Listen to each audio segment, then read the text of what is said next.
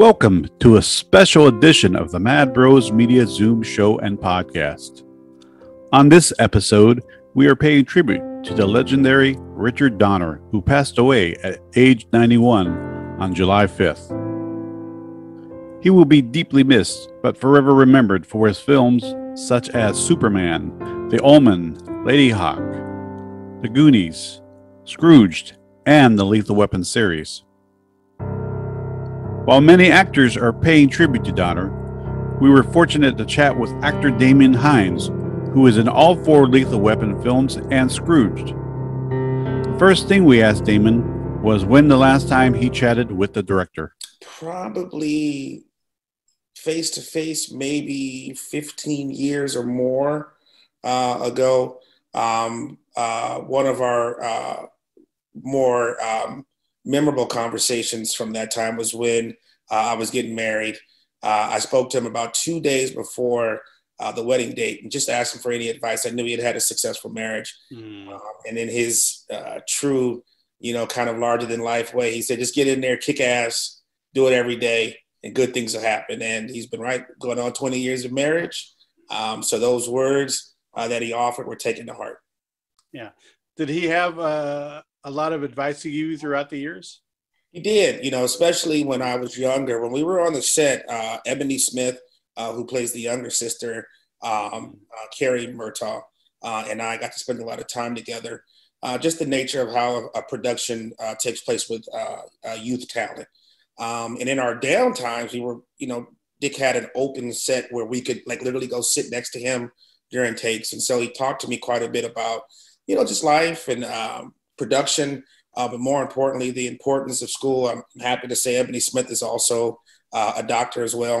Um, she's a medical doctor, and I actually teach at Loyola Marymount University uh, as well. And so um, we've done well, but yeah, he always um, was open to uh, sharing his perspective um, on a number of things. And uh, I was old enough uh, to kind of have it lock in and, and not take it for granted. Yeah. I, I heard too that he gave all all the children uh, college grants, right? Or not college grants, but he paid for you guys' college. Well, certainly for me, yeah. He um he was uh, instrumental in paying for the final year uh-huh. of my undergraduate degree at uh, Loyola Marymount, which obviously again is um, wonderful. But it was uh, Dick and Mel both uh, paid for uh, that full year, and you know back then um, it wasn't the tuition that is today, but it was still a significant number. Oh, yeah. So, did they come to your graduation? no, oh. they did not. Uh, uh that would have been nice, but uh, very busy men, of course. Wow. What about your lectures? Did they ever come to your any of your lectures when you were teaching? No, especially at Loyola, they would have shut that down just because of privacy issues and um, concerns with students. Maybe on that, you could slip in with like a coat or glasses. So tell us about your uh, audition for Lethal Weapon. How old were you when you when you auditioned for Lethal Weapon? I want to say I was around ten or eleven. I had just completed touring uh, on the national uh, ensemble of Tap Dance Kid, and so I did that for about a year and a half. And I get this call, you know, and I'm young, so my mom says, "Hey, we have an audition." Great. Um, get my sides, and my mom was kind of my my my practice partner. So we go through our routine, which is typically you know, going over the sides three or four times, having some fun. She did a really good job of making sure that um, I didn't get overwhelmed with, you know, the moment or the pressures that come with performing uh, in Hollywood at, at, an elite level. Um, and so I show up to Warner Brothers. Uh, his office was, you know, on this on the uh, lot at the time, and I get called in.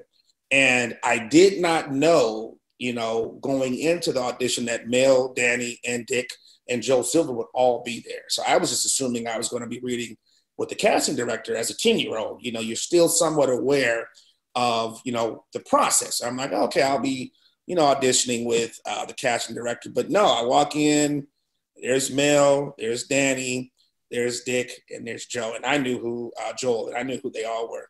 And so as soon as I walk in, um, for some reason, Danny starts the lines. Danny Glover starts reading the lines and I'm kind of still somewhat acclimating to the room.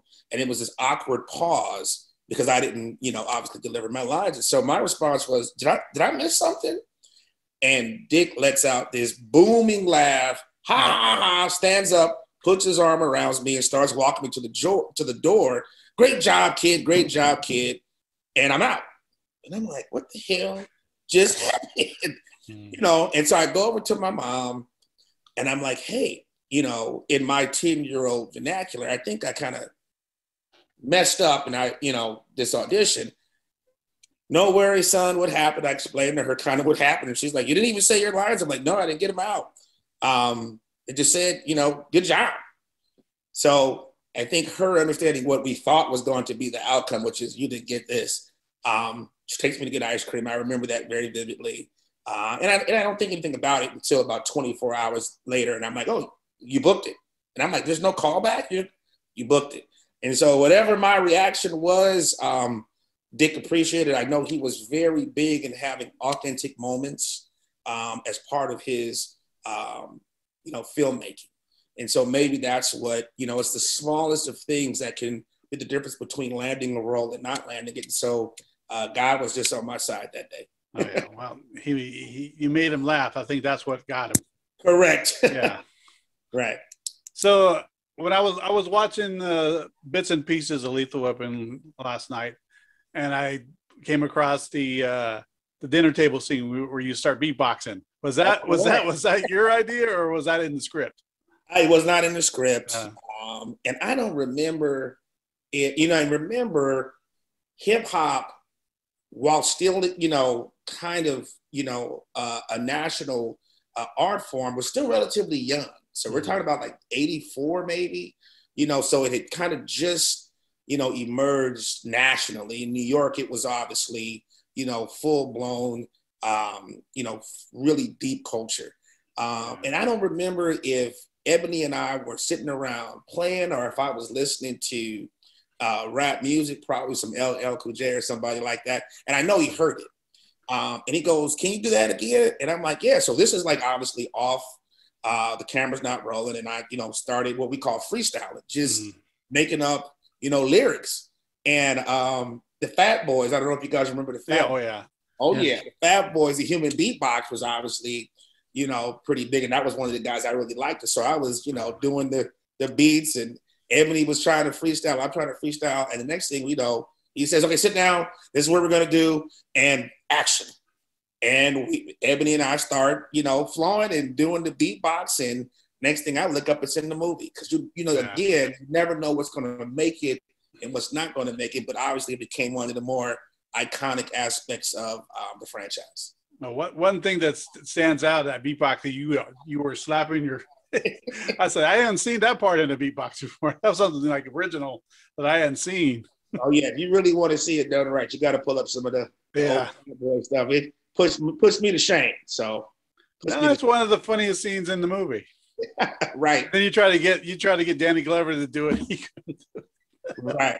It was it was and it was really us, you know, having a moment and playing around and mm. kind of enjoying ourselves and you know just how unbelievably tolerant, you mm. know, the adults were. You know, these are these are professional actors, right? That are that are well into their 20s or 30s and and still able to um, get down and, and have fun with two children who were yeah. true children at the time. So yeah, it was a special moment. Was it was uh was there sequels planned like earlier on or at least at least a sequel to part one? Because I think sometimes it's hard to like capture the same magic in a, in a sequel, but I thought Lethal, you know, Lethal Weapon 2 was very, very like it, it still embodied, you know, this still captured the magic of part one. And then you guys still, I mean, with, with throughout the whole franchise, like you guys as a family had really good chemistry. So it was, I'm glad that they had you come back, all those same people every time. So never had a clue um, that a sequel was coming down the pipeline. You know, if if Lethal Weapon was made today, they probably would have locked us all into you know long term contracts and things of that nature. Um, so it was really almost per um, film and being you know children in the family we were probably the last ones to know when it was coming down the pipeline. Um, but i do know you know from talking to my mom over the years um, in her conversations with my agent at the time uh, it was really dick who was adamant that the family remained the same if you look at movies like um, National Lampoons, you know, they can interchange kids whenever they want to. Mm-hmm. Um, and they certainly could have done it because it was so successful. So successful, there would have been tons of you know kids loving to line up and you know play my role or play Ebonie's or Traci Wolfe, who was the older sister at the time. Um, but Dick was really adamant about keeping that continuity, and I think it helped. You know, I think it helped that um, when we did return to film, it was like, "Hey, how have you been? Oh, you're taller." It was really like um, people that you've uh, known, and for them watching me and Ebonie grow up literally in front of them. Um, I think to say the first one I filmed was maybe 10 or 11. The last uh, uh, Lethal Weapon 4 I filmed, I was probably 22, 23, graduating from college. So it spanned, you know, uh, a, a, significant portion of my, you know, uh, childhood, adolescence into uh, early adulthood. And you know what's really, really good too about the sequels? Weapon 3 uh, it involved like a really big piece uh, of your character. Right. Uh, you know, one of the to, to your point, one of the nicer comments uh, that I will probably never forget from Dick is we were doing the shaving scene. Uh, Danny and I are doing the yeah. shaving. Um, and again, you remember I, am kind of I'm, I'm, a student. I'm probably maybe 10th, 11th grade at the time, you know. And so, uh, you know, you have these kind of swaths of where, hey, I'm in Hollywood, and then hey, I'm a regular student being teased by my, you know, classmates. I'm, like, hey, I'm back doing Lethal Weapon 2, and then I'm, then I'm the student. Um, but you know, limited you know work as far as kind of really being on camera, kind of unpacking some of the you know heavier aspects what all actors want to do, which is you know scenes. Um, so I get the script and I'm like, oh wow, I have a really good scene with Danny. Mm-hmm. I hope it makes it. Um, but we you know they set up the lighting, we go in and we shoot. Um, and I remember it being really, really, it was eerie because it was super quiet and it's usually a very lively environment when you're working with Dick. Um, and after we shot the final take, um, he walked up to me and goes, I didn't know you could act that. Wow. Well done. And then he, you know, kind of walks up and we're on to the next, you know, scene. But it just really was like, wow, you know, to have him value my work and then to be able to stand up there with someone like Danny Glover, who is immensely talented. Yeah. Um, it was, you know, all the world to me. And so I will always remember that kind of look in his face. Mm-hmm. you know, Mom, guess what he said? Guess what he told me? You know, um, and it was really, you know, it, it, was never a father, you know, son relationship by any stretch of the means, but you want to please him. He makes you want to turn in the best of you, um, uh, not necessarily for him, for yourself, right? Um, but in doing that, you feel like you're pleasing someone. And it was just, you know, an awesome moment to know that I'd done something that, you know, uh, brought him happiness and pride. And those are the best best little memories to remember. Oh yeah, especially when when like like Donner says that to you because it's like it's the world, you know. Correct. You know, and and at that point you're very aware of you know at ten I kind of knew who they were. Oh, that's you know those are some guys that act, you know, and got it. Yeah. But by 15, you're like, oh, oh, I know exactly who. this is Danny. This is Mel. This is Dick. You know, I got this is Joe Pesci. Yeah. Um, so you know, I was incredibly blessed to kind of have it at a time where I understood, like, wow, this is, you know, this is not, this doesn't happen every day, you know, um, mm-hmm. especially as a black actor, to be quite honest, you know, and at that time, we just weren't working that way, you know, and so I never took it for granted uh, when I showed up to set. I wanted to make sure, um, even as young as I was, that I was professional. I knew what the hell I was doing, um, and it wasn't going to be me while the scene didn't work. You know what I'm saying? It was not going to be me. Yeah. And um, and so you know, again, to have that validation from him was just amazing. Yeah, I, I know that uh, Mel was famous for pranking. Did he do any pranks to you guys? He didn't do any to us, but you know, he would do funny stuff like um, if we had a scene and we're kind of positioned this way, and you know, maybe he's you know on the side of us, um, he may show up with like a red nose or something like that. Um, if he was, you know, standing to give you an eye line, um, you know, he may be making faces at you to keep, you know, to try to keep you, you know, loose. Um, and so, yeah, he was, you know, great. Uh, Dick was great. Um, and, you know, it was an environment where it was, you know, not only allowed, but appreciated. You know, there are sets where um, the level of work is, is, is so taxing that you don't have time for all of that, right? Um, but certainly in that environment, it worked. Um, and you know, he had people who appreciated his humor. I certainly did and still do. Um, it just made again for just you know one of the best acting experiences anyone can have. Now you also worked with with uh, Richard on um, Scrooge. How was that compared to working on the Lethal Weapon series? So Bill Murray, uh, you know, obviously was the lead for that. Um, little more serious, uh, but I thought Bill was fantastic. Bill again was very gracious, um, very kind. I also worked with Alfre Woodard, who's probably in my top, you know, ten of actors. Period. Um, and so um, to have both of them um, as artists to work off of, uh, and Richard orchestrating all of us, you know, uh, was amazing. Um, uh, the audition, I think it was at Paramount, another great fun audition. I walk in, and again, I didn't know you because you're you're a kid, right? Mm-hmm. Um, and so I walk in, I'm like, oh hey, and he was like, what's going on? You know, just totally going on. Mm-hmm. Um, uh, and I did read for that one, so I read the lines. He was like, "Good job, get out of here." You know, he's always playing. get the hell out of here. So I get out, and it, luckily, you know, um, I'm blessed. I book it. Um, and uh, what was interesting is uh, one of the other children and I went to high school together. So we both booked it. So that was kind of unique um, in that it's the sister of um, John Blank, uh, Regina King, Regina King's sister, and I were in high school together. Um, so we both book it, and you know it was just and from that point on, hey, let's have a good time, and we did. You know, we really did. Yeah, and it seems like the the the Lethal Weapon family is pretty tight. Yeah, are they? Um, do you still keep in touch with any of, the uh, members, like the family? Not not so much Mel or da- Danny or right, but uh, the, well the the sisters. Do you keep in right, touch so with them? Correct. I communicate, you know, still with uh, Traci and Ebonie. Uh-huh. Um, we obviously don't talk um, as often as we could because we're mm. grown, have families.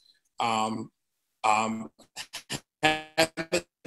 talked to Darlene in a while. But another strange, you know, um, uh, turn of events is her son and I are in the same fraternity, and so oh. through him, you know, I'm able to keep up with how she's doing. Um, she's obviously unbelievably, she's like a real mom. She's like just unbelievably wonderful. Her kids are wonderful, uh, are wonderful.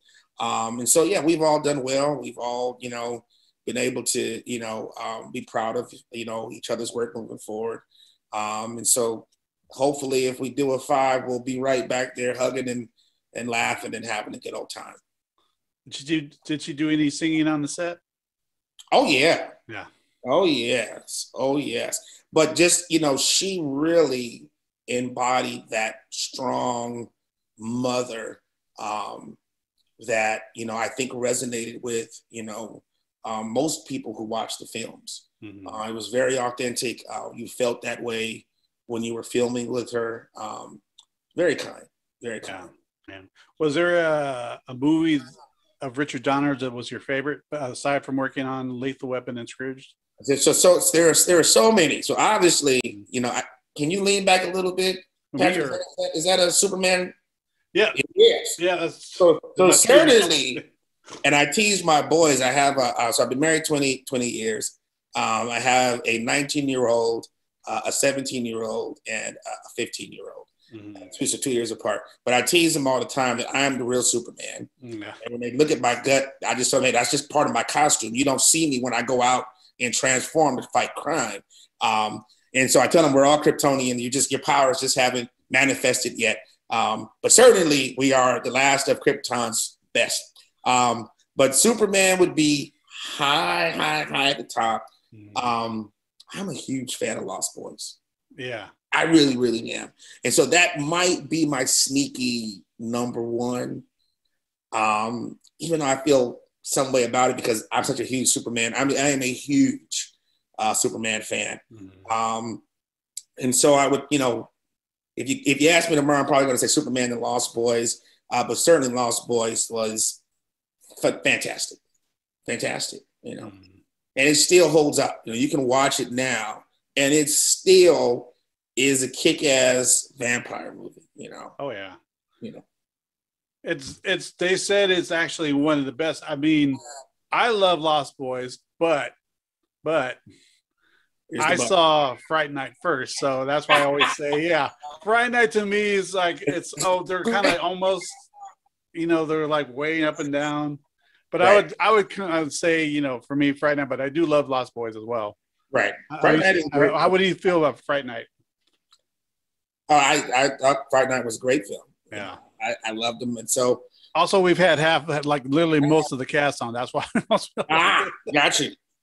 we've Well, yet to get no- we've yet to get no Frog. problem. We've yet to get the Frog brothers yeah No So, conflict of interest with me because I love the film. Yeah. So, yep, I loved it. Did you have uh, any little any little other anecdotes about Donner on the set of Scrooged or the Lethal Weapon franchise? Um, you know, like I said, uh, what most people have spoken to is his voice, um, um, his presence, right? Um, but I would also add to that, anecdotally, his size. He was a big dude. so imagine a 10 year old. I don't know how tall the dude was, um, but he seemed like he was seven foot tall, you know, to a 10 year old. Uh, and that aura and presence, it still seemed that way when I was 23, 24, working with him. Like, hey, this is Dick. You don't, you know, mess around. You come prepared. Um, and if you do those things, it'll be successful. Um, but yeah, I've heard him, you know, get after some people on the set before that weren't doing what they're supposed to do. Um, and I'll just, you know, leave it there. What happens in, you know, on the team stays with the team. Um, but he was a big dude. He was a big dude, you know, and so I don't know, you know, if he played sports or anything, but you know, I could imagine him in pass. That would have been an impressive dude running at you. You know what I'm saying? He wasn't gonna, you know, he's gonna hit you. He's a big dude. And then, if I'm not uh, if I'm not mistaken, his brother played the sergeant, right? He did. Actually, you know what I found? I, I always thought it was his brother. It's not his brother. It's his cousin. Oh, it's his Oh. cousin. Yeah, Oh, I looked that up to. I looked that up yesterday. Say, oh, it's his cousin. Well, I know it's a relative because it looks kind of like him. Looks just like him a lot. Yeah. I thought it was his. I've been thinking all these years it was his brother. It's, yeah, I read it was his cousin. Okay, but Yeah. yeah, that was him. You know, he um he was going to make sure, and, and like he reminds me of kind of like a, a- Ron Howard. You know, I think Ron Howard employs his brother Yeah, often. Clint all the time, and like he has him in the, well, at least one little scene in every movie. Correct. And I like that, you Yeah. know, because, you know, that just speaks to Dick sharing his success uh, with those, you know, close to him. Um, and so, again, another consummate professional. Um, he was great to work with. I don't think we had him scenes, but I definitely, you know, met him more times than not if it was through fittings or something like that. Um, but, you know, both of them, uh, great guys, booming voices. Um, are you sure it's not his brother? I thought it was his brother. If it is, the, the internet's lying because I said it was Yeah. his cousin. So Sometimes it could be, you know, it could be Yeah. like off, but yeah. yeah. Right. Um, 'Cause they, but they yeah. sure do look alike. Yeah, a, a great person. Um, Yep. Other anecdotal kind of stories. Uh, I remember when Joe Pesci got his Oscar, which was awesome. Uh, Joe, to me, was just amazing to watch and amazing to watch Dick direct him because he really wasn't a micromanager. You know, he really didn't get in there and, and you know, try to tell you, you know, what to do.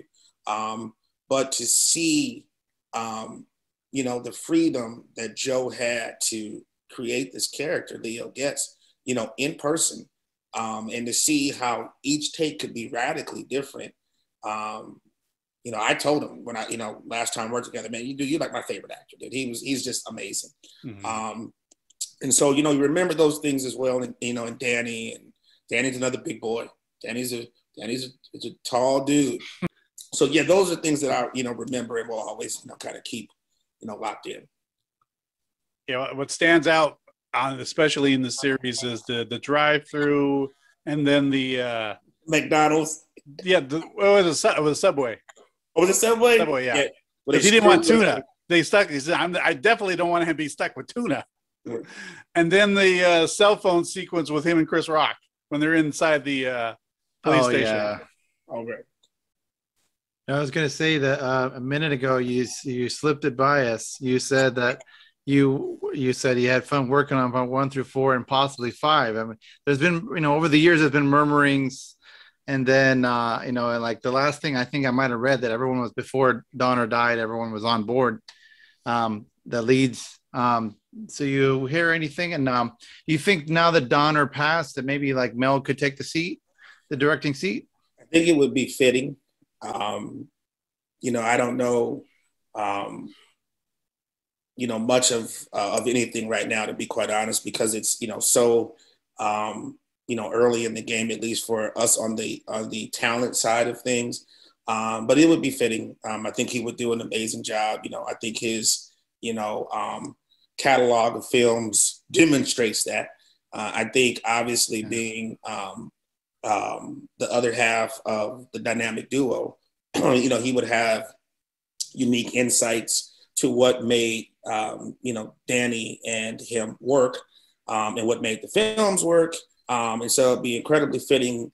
It seems like every year um, I hear there's a five, or you know, I hear you know, okay, well, there's going to be a five. There's going to be a new family, um, or you know, this person's playing Nick now, or this person's playing Carrie. Um, I have no, you know, idea. Unfortunately, obviously, it would be very special to have the entire family back. We are all still here, which is another, you know, blessing that the entire family is alive and well. Um, and so I think, you know, audiences obviously would be very, you know, invested in having that continuity remain, and then also seeing how we've matured and grown. You know, to see a grown Damon Hines, to see, you know, a grown Ebonie Smith, to see a grown, you know, Traci Wolfe, uh, and then to see Darlene Love um, would be, you know, uh, um, you know, um, not only amazing, it would be fitting, but those are the decisions that kind of happen, you know, above our heads, and we kind of sit around and hope and pray that, you know, it cuts our way, but we shall see.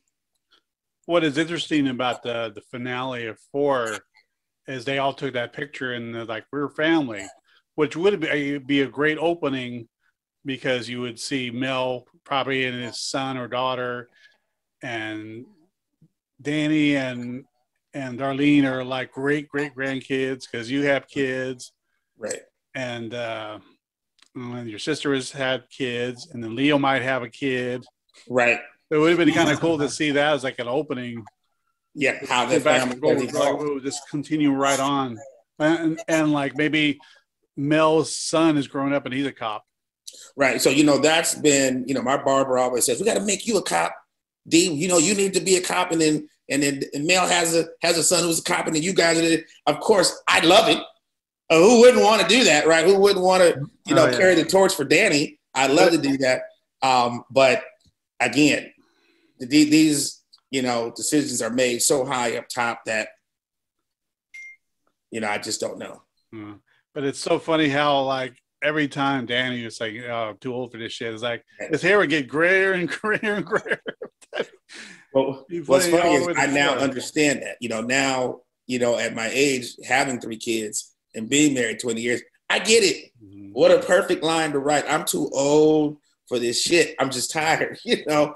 And he's out there fighting crime, you know, yeah. at that age. And so, um, so you know, it's aged like um, yeah uh, most of Dick's films, it, it's aged so well. It's held up. It's you know, it's it's held up against the, the television series. It's just you know, oh yeah, it's it, it, it has been great. You know, but it would prove pr- prove to the world that he, no matter how old you are, you know, a lot of people are you know, uh, what Harrison Ford is almost 80. He's doing Indiana Jones. Right. Stallone is going to do another. He's doing like two or three action movies. He's almost 80 um, Liam Neeson's like 70 and he's still yeah. doing they're they're still in the man for action movies.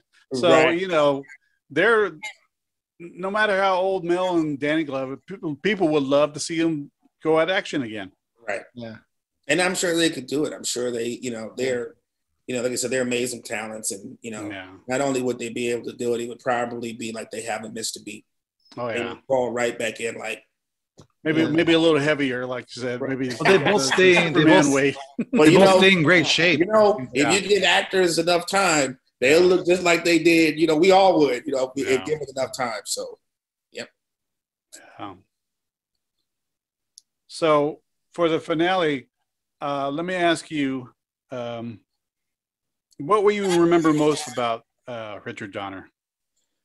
That's a great way to close uh, the interview. I appreciate that question. Yeah a lot. Um, his smile, um, his presence, uh, his voice. You know, I think having lost my mom, that's the thing I miss the most is you know the voice.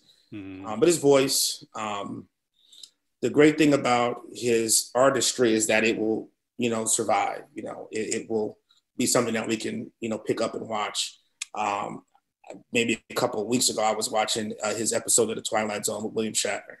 Um, and so to me, it'll be, you know, his smile, his voice, his presence um, more than anything, you know. And then just trying to, you know, move forward and live a life that, you know, is is worthy of the blessing that I had, you know, having him in my life for however long it was. No, great question. That's that's a powerful answer. That's really good because yeah, he meant he meant he meant a lot to a lot of us, especially cinephiles and you know people who you know respect him. Right. So, right. well, rest in peace. Richard. There it is. Yeah. Big fella. Yeah. I, I, hope you're you're hanging out with Christopher. Right. The, the real Superman. Well, thank you guys for having me. I, I too am, am, am honored that you would, you know, uh, reach out to me and uh, hopefully. Well, uh, we'd love to. We'd love to have you on again. You know, talk about more about your career. Absolutely, I'd love to. And uh, how you're doing at the at the school and what you're teaching. Absolutely. So whenever you're ready, you can you can come back. Amazing. Appreciate it. All right. All right. Oh, wait. All right. Well, I want to thank Damon D. Hines for being a part of this wonderful tribute to Richard Donner. This has been Patrick and David and Damon for Mad Bros Media Zoom show and podcast. Have a good one.